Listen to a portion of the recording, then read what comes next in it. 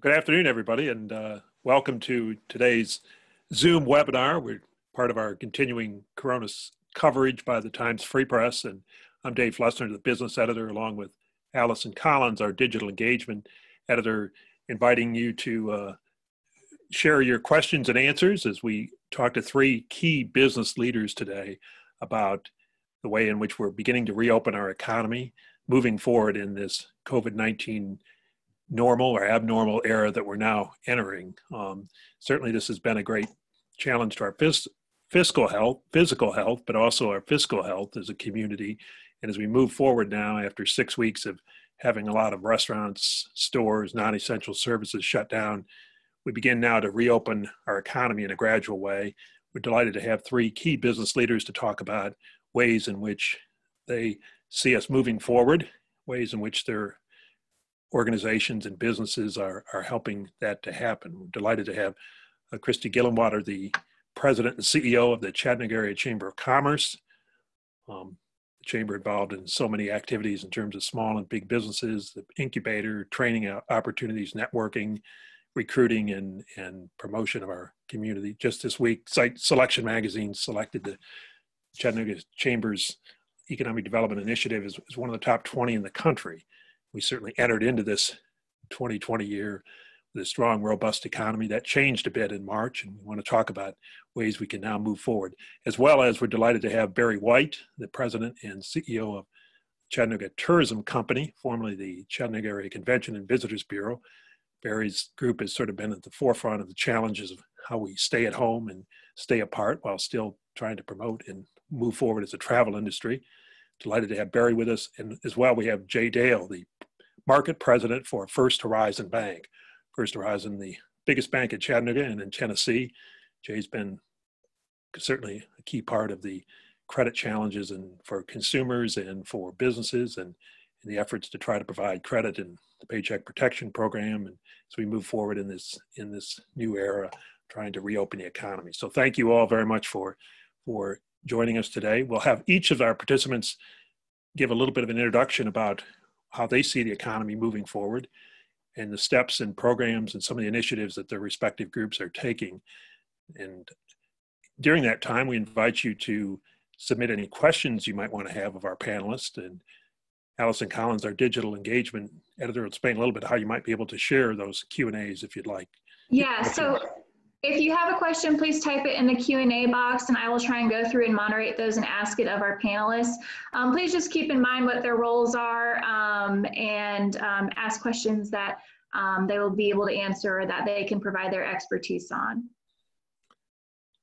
Thank you, Allison. So, well, let's begin with uh, Christy Gillenwater, the CEO of the Chattanooga Area Chamber of Commerce, which has been involved so much in so many initiatives in our business community and it gathered some information about the uh, where we're at and where we're moving forward. Christy, how do we move forward? What are some of the steps that the chamber is doing to, pr- to promote the community?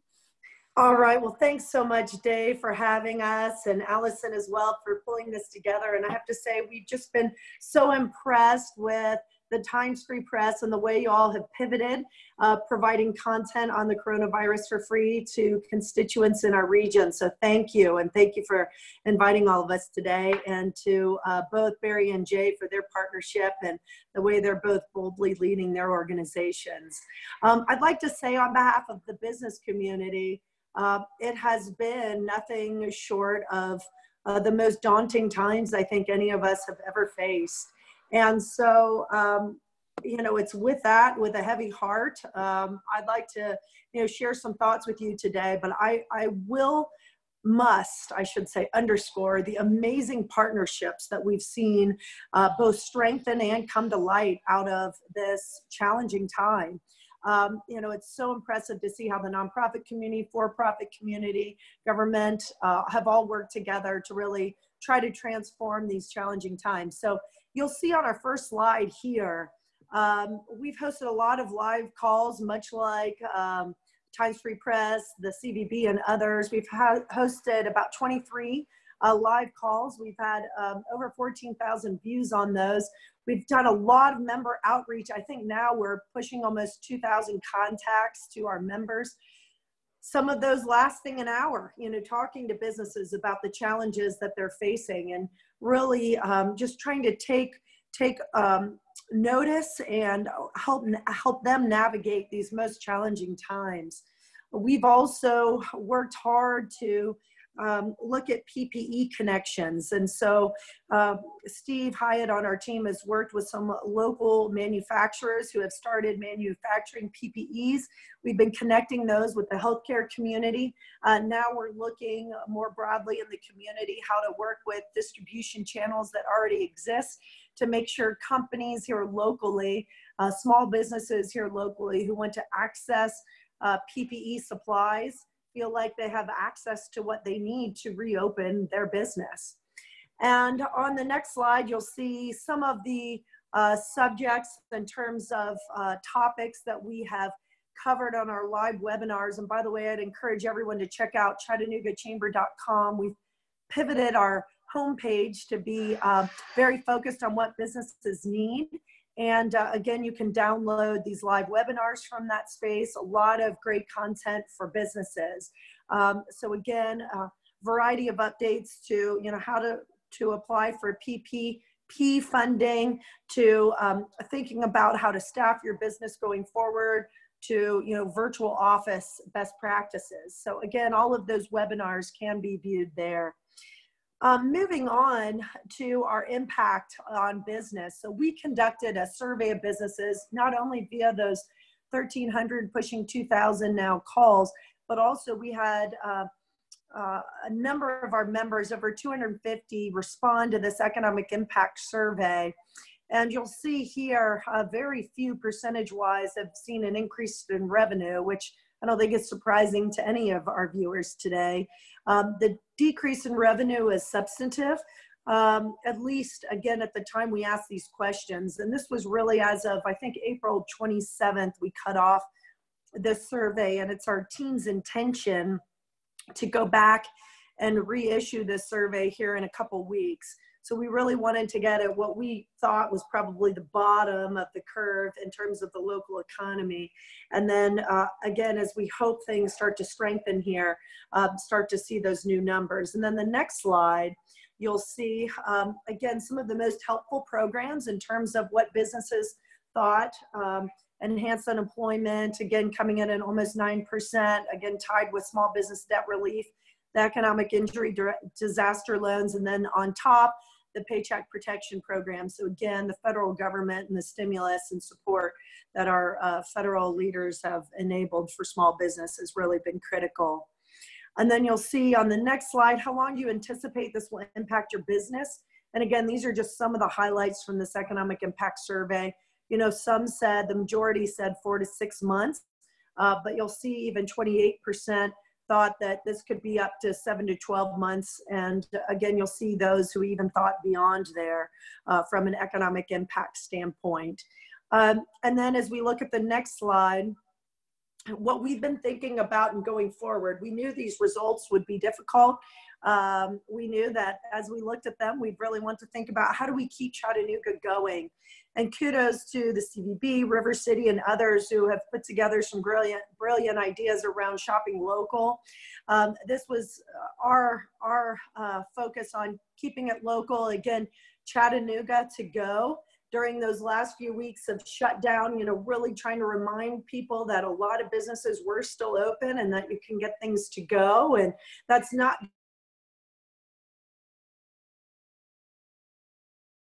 point of um, retail, etc., to you know keeping your offices clean. There are companies you can go to at this point in time, and we're really switching that campaign uh, at this point in time to go to as the economy starts to reopen. We're taking that slowly as we encourage people to go to businesses, but as they reopen with um, you know, state and federal guidelines um, at heart. Uh, we want to encourage people to go to these businesses that that's so important to shop local and keep your dollars local in these uh, critical times. And then on our last slide, you'll see we are launching uh, yet tomorrow or Friday a small business hotline. Uh, and again, this is meant to be something where you know we have a lot of businesses we work with. Barry does, Jay does, but there are a lot of businesses in our community who don't have relationships with um, even the partners listed on this hotline slide. Uh, we want to open our arms up to them and feel like they can call on us for help and support as they think about reopening their doors, as they think about a new normal for a while and what that might look like, whether it's you know, marketing assistance to understanding where to garner PPE supplies, to um, help with workman's comp issues, um, to financial support uh, and financial projections and how they go about thinking about, again, this new normal. The small business hotline here at 423 206 2565 we think is going to be so important and i want to to tell you too it's underscored by epb epb is our um, supporter on this in terms of providing this hotline and, creating this support mechanism for us. And we thank all of our partners who are coming live on this hotline as well. So um, as we look forward we are uh, very bullish on Chattanooga can, in, in terms of how Chattanooga and Hamilton County can come out of this challenging times with COVID-19 compared to other communities. And I know, I, I'm assuming based on our questions that will follow, we'll be able to talk a little bit more about what recovery looks like and what our current thinking is. But as Dave mentioned at the front end, you know, we're very bullish about our economic development strategies, what we've uh, lined out this past year, what we're pivoting on uh, as we go forward. We're really excited about the opportunities that lie ahead, but at the same time, extremely cautious and careful about our small businesses and our companies um, are not faring very well right now, and we're very sensitive to that, wanting to support them as much as possible. Thank you, Dave. Thank you, Christy. Great comments. Appreciate very much. And turn next to, to Barry White, the CEO of the uh, Chattanooga Tourism Company, formerly the Chattanooga Convention and Visitors Bureau, who's changed his name and focus during during this COVID nineteen crisis. And Barry, perhaps no industry has been hit as hard as the travel and hospitality industry. How do you move forward now, and, and what initiatives are, is the tourism company taking now? Yeah, uh, thanks, Dave, and and yeah, you've you've hit it directly head on right there, and i am looking forward to sharing a little bit about what we're what we're facing as a as an industry here in Chattanooga. Um, I do want to thank uh, Times Free Press and Dave. Thank you for having having us on today. We appreciate it and uh, consider it an honor to be here with my colleagues and Christy and Jay as well. So thank you and your team for making us uh, making this available and, and having us with you. Um, so when we speak about the travel and tourism industry, uh, I just want to identify and kind of define what we're talking about. That it, it, it's a collection of several industry sectors, uh, including dining, retail, entertainment, lodging, and transportation. And so collectively, those those sectors make up the travel and hospitality industry. And you just think about, uh, you know, the, the obvious ones that people typically think about are, uh, you know, lodging, you know, hotels and, and short-term rentals and that types of thing, and then transportation. But a lot of our spending uh, from visitors takes place in our restaurants and our establishments and our retail shopping and, uh, and, and the entertainment and activities that they do while they're here. So those are all very very important uh, to our community, as we'll discuss a little bit later. Uh, but overall, in the country, just to give you some perspective, uh, travel and hospitality, hospitality in those sectors are expected to be uh, represent the greatest loss collectively uh, throughout the country during this crisis. Uh, estimates right now are anywhere between 40 and 45 percent of the total economic loss will be in those five industry sectors. So we are, um, you know, we can we we feel it, we feel it locally, and uh, and we start thinking about the, you know, we're gonna we're starting to see some reopening of a few of those segments right now, and. Uh, we're learning our way, and there's uh, there's still a lot of uncertainty and unknowns as we go down this path. But uh, excited to see some of the restaurants reopening and and uh, and retail establishments as well. We've been focusing, you know, since day one. Uh, we really focused on. Well, we stopped all of our advertising. The timing was was horrible for us. It was right as we were getting into March, which is one of our best months of the year with uh, families traveling traveling to Chattanooga for spring breaks. uh, from our, our target markets in Birmingham, Nashville, Atlanta, and, and so on. So we ha- we stopped all external marketing uh, tied to spring break as soon as uh, as soon as the, the virus broke, and um, just to save money. And, and we again, the last thing uh, travel was not uh, was not even possible at that time. So we focused all of our communications immediately in, in March uh, internally to our partners in those industries, uh, hotels and, and entertainment and the, the, what makes the culture and heritage uh, and, and the arts and, and those unique aspects that make Chattanooga special. We hosted daily discussions very similar to the Chamber of Commerce. We hosted discussions uh, daily uh, by industry sector and then and with our partners uh, we launched what is called um, Connect Chat, which was uh, which is a collection of virtual experiences, so people could. It provided avenues for uh, some of our performers and artists and others to get on and um, and, and be paid, uh, but also to perform and let people know that we are still here and try to just keep Chattanooga out there, both with our residents and with potential visitors. Um, we also kind of looked at some, you know, just utilizing low cost and high, high efficiency marketing tactics. So a lot of uh, paid social and again, putting that the connect chat experiences up was just uh, inexpensive. But uh, one example I can say is uh, we, one of the bands uh, that, that played for us, you know, was expecting to play in front of about 200 people at their paid gig before it was canceled and when all was said and done, and they performed online for us and did their first online uh, performance, they had more than uh, I think it was thirty thousand uh, views and followers, and and raised more money than they would have made in you know three or four gigs. So good, uh, just trying to get people out there and just making sure that they're seen.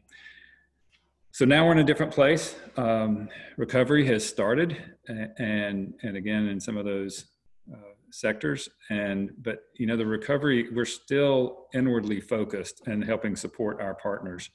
Recovery starts with chattanoogans and this is our time to get re-engaged and to, to learn our community assets and and also to be top of mind with with visitors. So you mentioned our new name. We also have um, done a lot of research over the past 12 months and, and, and some branding and determining really what the heart and soul, who the heart and soul of Chattanooga, what is that? And what are, what are we based on? What's our foundation? And came up with, you know, kind of four pillars uh, from community assets, natural assets, and community attitude, business attitude. And we we are going we're rolling out some of our brand findings to our community starting this week.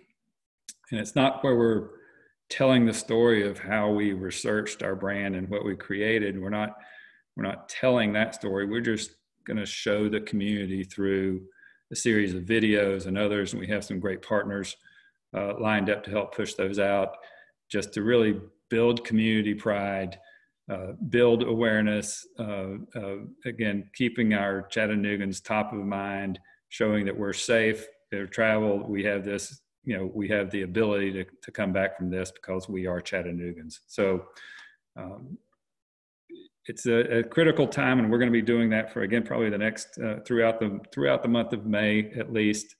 Uh, before uh, we anticipate travel restrictions being lifted a little bit as, as long as everything goes well. So just very excited to um, to see things starting to open back up. And uh, again, we want nothing more than our small businesses, our retailers, and our restaurants to succeed. And there's a lot riding on this right now. We hope that everybody practices, uh, you know, engages in safe practices, and that they're successful in opening safely, and, and we can continue on uh, the forward path to recovery. Thanks, Barry. And finally, we want to hear from from Jay Dale, the market president of First Horizon Bank. Uh, Jay's been involved, obviously, in, in a number of businesses trying to figure out new credit paths forward, as well as consumers as they look at a new economic environment, as well as the challenge in the millions of dollars really that have come through the Paycheck Protection Program. Jay, what's the economy looking like in, in the business conditions, and how do you move forward? What programs have you been initiating? Yeah, thanks, Dave. Good afternoon, everybody, and appreciate you putting this program together and the invitation. And um, and in behalf of all our First Horizon employees, we want to say our thoughts and prayers with all those impacted by this pandemic and COVID-19 and the Easter Easter tornadoes as well. So, you know, a lot of folks were impacted. I'll talk about kind of COVID-19 and the impact, and then the SBA PPP program. Um, on the COVID-19 side, so we had the safety of our employees and customers at the top of mind. Like a lot of branches and credit unions in town, March 23rd, we closed the lobby um, to by appointment only. And we really encouraged our customers to use other avenues, drive-through, ATM, online banking. We're an industry that fortunately has the ability to continue somewhat business as usual by utilizing technology. Um, and I do want to thank all of our bank employees who are providing such an important essential service. They've got health concerns going to the branch every day, but they know how important it is to our community to be there interacting with our with our community and to our customers as well who have been very understanding uh, and flexible with these changes. And we're actually looking at next week going back to some phased in approach of opening the lobbies back up, but really managing how many customers come in. You're used to seeing tape on the floor of keeping spacing at the teller line. And so we'll manage through how we create social distancing, but try to open back up a little bit. Here in kind of the main office, the non-retail side, pretty much everybody's working from home. We're monitoring kind of on a percent basis how many are actually coming to the office, and it's not that many. And I suspect we'll do a similar thing over time. We'll phase that in and kind of monitor it by percent and kind of scale up. But for the time being, we're continuing to encourage all our uh, employees to work from home. And then working with our community and our business customers, we did a lot of emergency financing, working capital lines, knowing they were going to be impacted. So that was kind of end of March, as well as offering uh, deferral of payments for three months to provide relief. So we did a lot of work there right before then the SBA PPP program came out and Congress passed that around the 27th. And as a taxpayer and citizen, I thought, wow, how novel. They're going to let the banks actually distribute that. We could do it faster. Uh, I, I was excited about it. Then we realized the scale and the undertaking that was going to take. And for those not familiar, the PPP program was designed to basically take your, your payroll for 12 months, take the monthly average times two and a half, and we would provide a loan to encourage small businesses to keep their folks employed, knowing they may be shut down. So the spirit of that is for those eight weeks, basically May 1st to June 30th, you'll keep your employees um, working and there'd be a loan forgiveness piece. So really providing some incentive to small businesses to, to, to, to keep employment up in their communities. And so the 27th had passed, it went live on April 3rd the night before Thursday night is when the final guidance came out. So we were preparing for a game when we didn't have the rules. The guidance was constantly changing, and we're kind of trying to build a plane while we're in while we're in the air and trying to land it. We had to do kind of a phased-in approach. So it went live on a Friday. We actually uh, rolled it out on a Monday, the sixth, and then more broadly, kind of on that following Thursday, on a more automated process for our retail side. Then the money ran out the previous, th- the, the next Thursday on the 16th. So it went really fast round one, but a lot of folks took advantage of it. We were pleased to help and our, our team worked some long hours. I mean, basically for four or five weeks, all we've done has been doing SBA PPP, but, but it's an honor. There's been nothing more rewarding in my career to help and see our team work two hours. I mean, work at two in the morning, four in the morning, talking to clients all hours of the night Round two started last Monday. The Congress passed another 200, excuse me, another 310 billion for round two of PPP. And actually, it's gone really well. The average loan amount's much lower. I think there was some scrutiny on very large loans, uh, maybe public companies that have access for financing, and it was not necessarily intended to be utilized in that way. So some of those folks are trying to pay it back. The average loan amount smaller. And as of last night, the Tennessee Bankers Association said that they've used 181 billion of the 310 billion. So as of right now, there's still a lot of room in the bucket. So I would encourage you, if you're a small business and you've not taken advantage of that, to reach out to your primary, primary banker, and we're happy to help. And just to give you a feel for the scale, so we've got an SBA group started about two or three years ago, and we might have five users that access SBA's E-Tran system, which is where you input your loans. And we did about 50 to 100 million a year in SBA financing.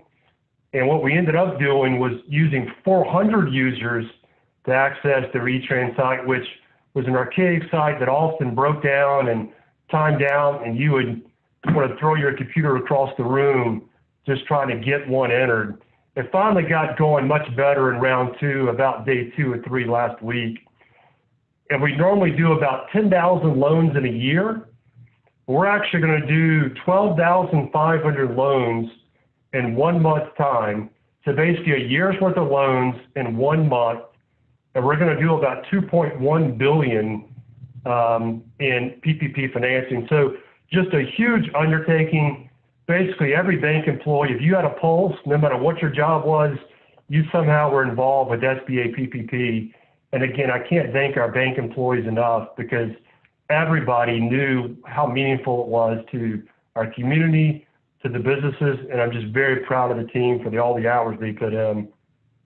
And then lastly, our foundation, you know, we're only as strong as our community. And so we've provided 130,000 in support across all different areas of the community for emergency COVID-19 relief, as well as to the American Red Cross for tornado relief, and also to Erlanger for the impact they've had with COVID-19. So our foundation has stepped up as well, and uh, just couldn't be more proud of the team and happy to support. And I'll end my comments there and take questions.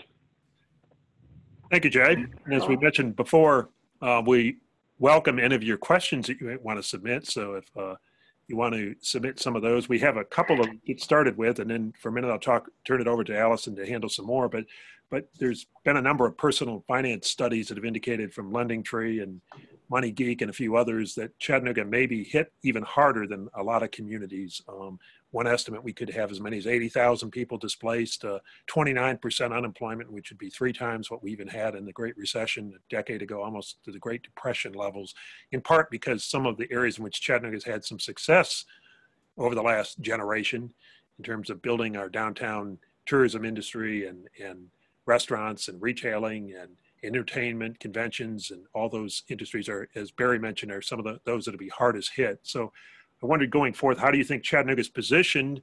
Uh, one study indicated we may be the most fourth, fourth vulnerable of the 100 major cities in the U.S. for, for this COVID-19 economic downfall because of the unique nature of our complexion as, as a as a community in terms of the makeup of our of our of our economy. how's Chattanooga positioned, and and how should we as a community cushion these losses and move forward? And how do we market ourselves? And maybe throw that first to Christy, but invite each each of you to respond to that. Sure, Dave. Happy happy to respond to that. So what that what that um, does not take into account is the spirit of Chattanoogans and residents in Hamilton County. And you look at how resilient our community is, and that's where in my opening comments I said you know, compared to other cities, we feel that we are very well positioned. Some of that is based on our size, but more importantly, it is based on the um, fabric of our community and the way we collaborate and work together and just the spirit behind Chattanoogans, is Barry so aptly stated earlier. So to us, that study misses who we are as Chattanoogans. We're resilient. We've, we've been doing this for 50 years. We've been overcoming challenges not like this one, don't get me wrong, not at all like this one, but we are resilient people. And so we feel that the study doesn't take that into account, first of all. Second of all, you know, we have, as you mentioned, site selections um, commentary around our amazing economic development strategy. And we have, we're blessed with such an amazing team at the chamber. They've pivoted, been so focused on this, but we are reimagining how we market our community, thinking through, um, you know, our strategies of the past and how we traject those out into the future. But I'll also say this is exactly why we need to double down on our efforts, not only at the chamber, but I also think at the CVB side of it around tourism. why we need to double down our efforts to market our community. Um, in these kinds of times, it's not the time to let off on the gas. It's, it's time to be full throttle. We think with our 10 gig um, internet service that EPB has graciously supplied our community with, we're in a very competitive position as it relates to uh, working from home, more flexible workspace, et cetera. Um, and our assets, we always talk about the beauty in our community will be attractive uh, to folks for decades to come. And so to us, we feel like, again, the spirit of who we are is missing from that. And again, not a time to let off the gas. We need to take those um, studies into account, um, but let it fuel our energy to move forward. Barry, uh, you got a $1.1 billion tourism industry here. How do you move forward and market that? And as a rubber tire market, are we better positioned maybe than some that have a flying destination? I'm gonna, yeah, I definitely want to echo Christy's comments. I think, you know, first of all, LendingTree, um, you know, I, appreciated their uh, recognition of the value of the hospitality and travel business on our community, and I think it reinforces a message that we've been trying to get across a, a lot of times um, to everybody. I think we recognize it. Sometimes we don't recognize it to its fullest extent. So it is critically uh, viable to our local economy and and um, it, what another like like Christy said, in addition to you know it's the spirit of this place. We recognize that. We saw that come through in some of the branding research that we conducted we're taking that we are uh, like the chamber reimagining and and repositioning uh, our our messaging so that when it is safe uh, to begin travel and that we are confident in our community that we are we are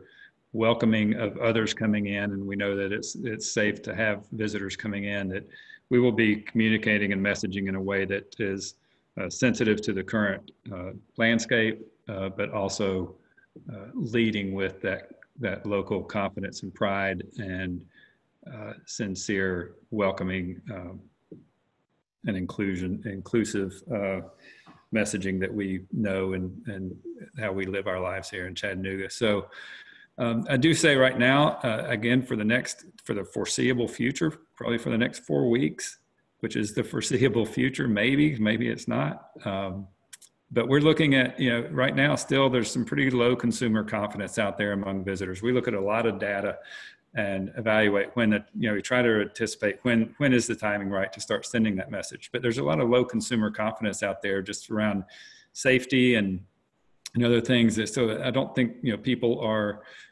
really willing to travel right now. The state technically and non-essential travel is not open uh, that will happen sometime soon, but we need, still need to, you know, to, we're gonna have to watch what the consumers are, are thinking and feeling. But we are positioned, and LendingTree did not take this into account either. We are positioned to respond and react and be very successful as we come out of this. The first thing people are going to want to do is probably going to go see their visiting friends and relatives.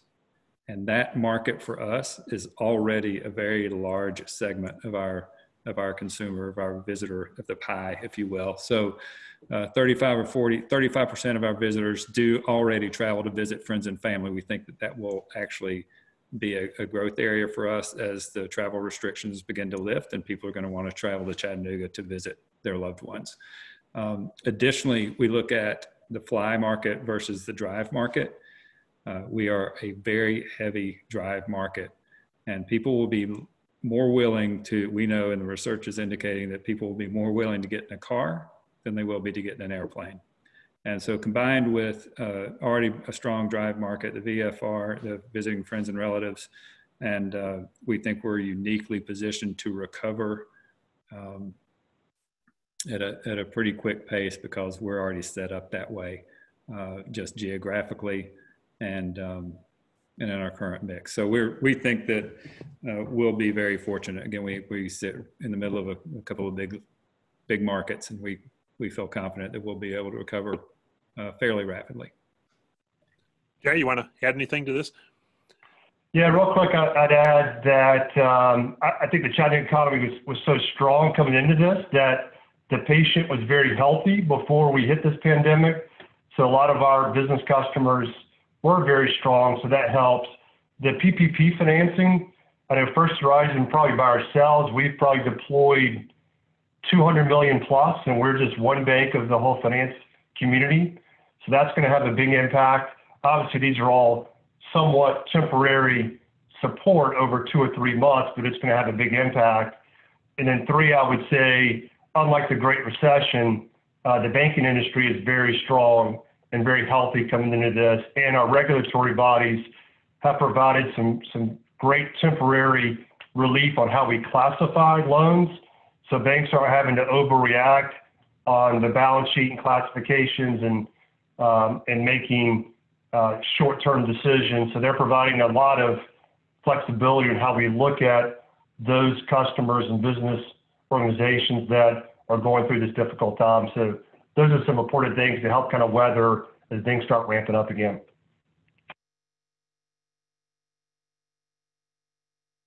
All right. And we actually have a, a, one question that was submitted before the webinar, and Michael actually elaborated on this in the Q&A box, but this question has more to do with PPE instead of PPP. So um, how are businesses working to ensure employee, employee and consumer safety concerns are addressed as we move forward in reopening the economy while the virus is still in our midst? And Michael gave a few examples of you know, requiring the wearing of masks while in those businesses, having a bottle of hand sanitizer, having used and clean pens. I saw that at a business when I was out the other day. Um, you know, the ability to actually enforce some of these occupancy limits. So I'm just wondering what you all have seen, especially you, Christy, you could probably speak to that a little bit more. Sure, sure. Happy to talk to that. So a few things. First of all, I mean, Barry talked a, a lot about consumer demand and consumer confidence. And I think not only for visitors, but for residents, right? And um, so businesses who look at those guidelines from the CDC, from uh, the governor's office, those guidelines and really focus in and adhere to those for their industry sector and also specifically for their business, you know, we'll, we'll probably see more consumers feeling confident to patronize their business. So what we're trying to do, and, many other partners like the CVB and others, is is cr help create that clarity. You know, um, communicate, bring in those speaker, speakers who can talk through. Okay, the governor's plans, local. You know, encouraging those local uh, guidelines as well. You know, I, I was on the phone with um, Mayor Coppinger earlier our county has been working very closely with the governor's office, right? And so making sure that uh, businesses understand what those guidelines are for their specific type of business. And that's another reason for the hotline this week is, you know, hey, if you have some questions, if you're trying to navigate that, um, let us try to help you. The other part is assisting with PPE supply chain. So again, there have been a lot of conversations. I know, uh, as I mentioned earlier on our team, trying to source local PPEs, not only for the healthcare sector, but now for the broader community, and then connect uh, businesses with those distribution channels. So we think that's going to continue to be important as businesses start to figure out, okay, how much hand sanitizer do I need? What about my face masks? And, you know, candidly, as they open up, they might realize their projections were off and that they actually need more of those supplies. So I think a lot of it will be driven by awareness. And so that's where we, the CVB and others, are really um, going to partner to try to create as much awareness around where supplies can be located as possible. Um, but then also uh, helping businesses try to project what they will need.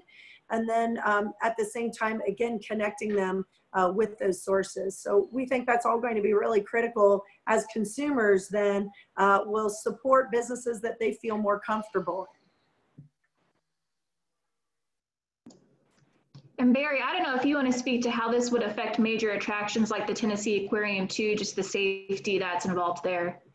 Yeah, I can. Uh, I would definitely can definitely speak to that. And again, uh, most of the guide, you know, they're guidelines right now mostly, but uh, what I've witnessed and seen even yes, so, so small businesses around town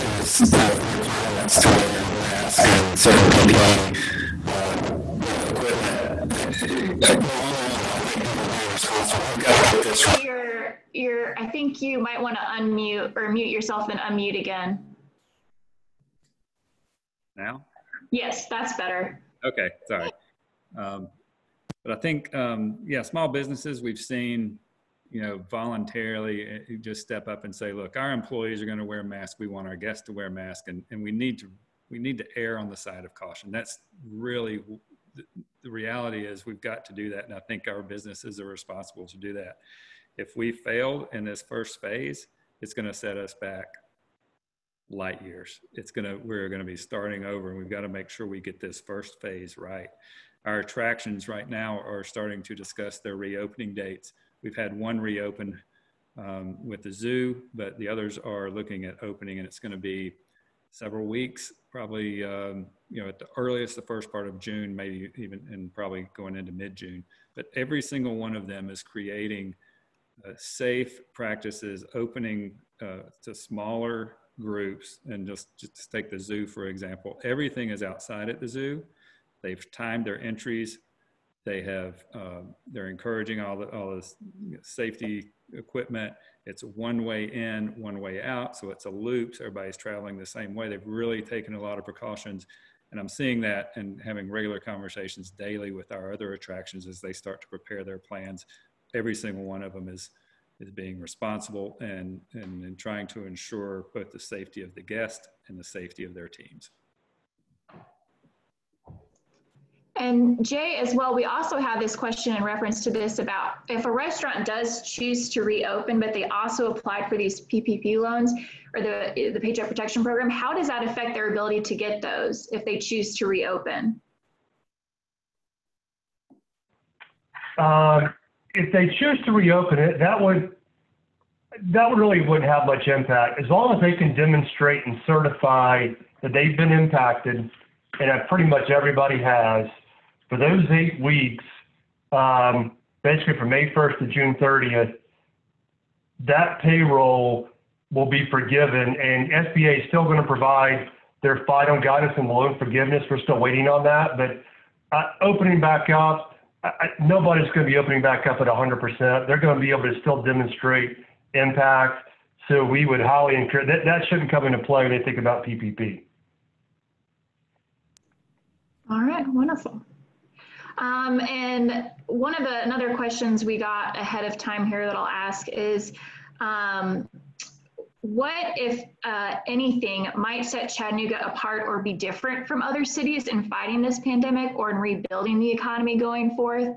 Um, I know you spoke a little bit, Christy, about the spirit of Chattanooga and how, and Jay, a little bit how well we were positioned before this all started, but did you want to elaborate on that as well?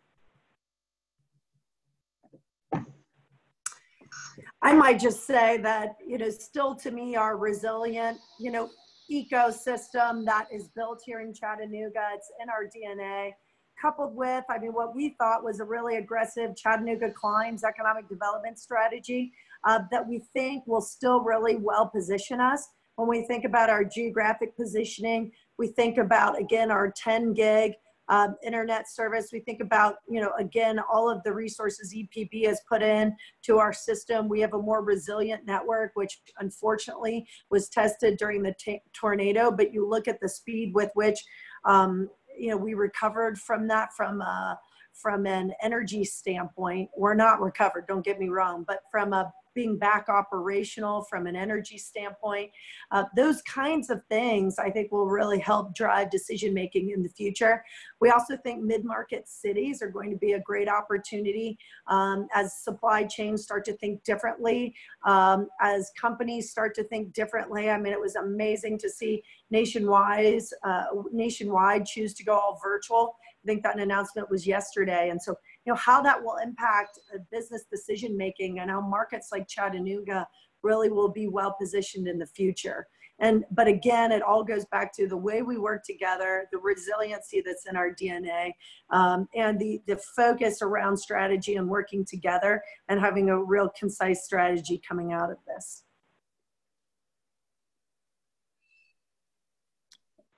I'd like to jump in real quick if I can, Allison. All good on sound?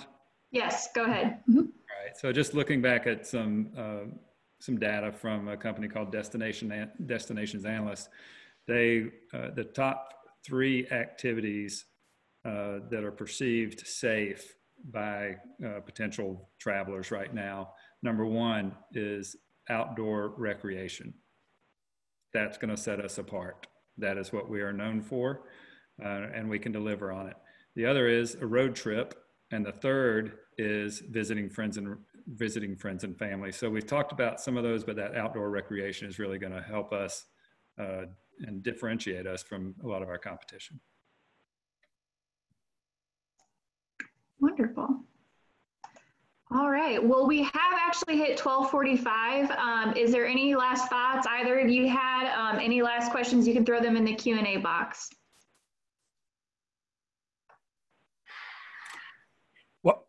While we're waiting, let, let me just throw one other final question, it, it, maybe depart on, or, if there's not others, but what kind of recovery do you anticipate for pacing wise? I mean, there's been talk about a V-shaped recovery immediate, or is this a multi-year recovery? What, as you look in Chattanooga, a lot of us are wondering how long of a downturn this is going to be, how long of a uh, kind of a recovery we're going to have. Obviously, looking into the unknown in the future, what are your expectations about the pace of people reopening the economy and, and coming back in a strong way?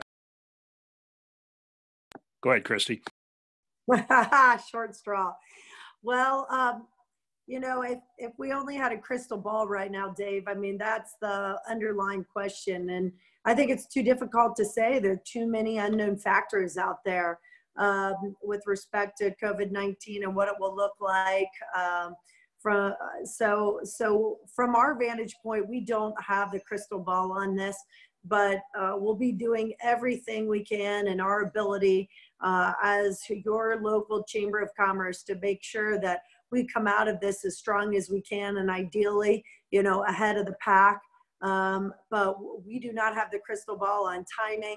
You know obviously i shared some of the economic impact survey results uh, from you earlier uh, with you earlier and we'll continue to um, to again keep that information current as we move forward uh, and in terms of asking our members how are you doing you know, what kind of help do you need, et cetera. But uh, we do not have that answer right now, but just know we'll be doing everything in our power to most positively impact that and uniting with partners like the CVB, City, County, United Way, Community Foundation, all these organizations, our wonderful bank friends like Jay, who we will rely on to help us get out of this. Barry, you'd mentioned we a lot of tourist attractions will not open for another month or so. What going forth longer term? What are your expectations for recovery? Well, I'm glad Christy went first, and she did a great job of, of kind of providing a, kind of vanilla answer, and, and as I would too. We do, she's right. We don't have a we don't have a crystal ball. We do have some uh, in our in the hospitality and travel sector. We do in industry. We do have some projections. Uh, airlines, I think, have, have said it's going to take about three years um, and the hotels, uh, national hotels, uh, have also estimated maybe three years. And that is to get back to 2019 levels. So, really, just to give some perspective, 2019 was the best year in travel that we've ever had. We were on track in 2020 to, to surpass that. So, in order to get back to the levels we were in 2019, you know, we're thinking um, if you wanted a shape, you said, is this a V? I would think it's more of a, a half round or a bathtub, if you will, maybe where it's going to we're, we're going to cruise here for a few weeks, uh, kind of flat, but I think we'll start to see a turn uh, upward, and then it will be, you know, maybe over a period of, of about three years for the hospitality and travel industry. Jay, anything you want to add? Yeah, originally I said kind of V-shaped, but you know, maybe more hockey stick. Uh, you know, the big unknown is the consumer behavior and their psychology. How confident are they to return to their normal spending habits. You know, consumers make up 75% of GDP. So really it's going to be tracking the data, the cases, hospitalizations, and what consumers do. And a lot in the Southeast, I'm no doctor, but the Southeast has fared much better than Northeast and some other areas of the country. So we're in a great geography that seems to be doing okay right now. And I'll add the markets have held up generally well. So the Dow, the stock market, the banks, so far, from a financial standpoint, we're kind of weathering okay, but who knows how it's going to go in two or three months. There's still a lot of uncertainty.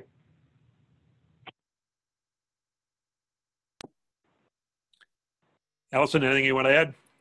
Any more questions? Or? I don't think so. We just got a couple of thank yous from everyone um, as well. So thank you. I appreciate it. Everybody stay safe. Thank you, Barry. Christy, Jay, appreciate it. Great comments. Be safe. Bye. Thanks, everybody.